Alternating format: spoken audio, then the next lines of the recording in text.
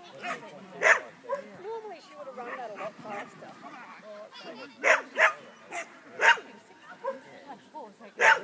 faster.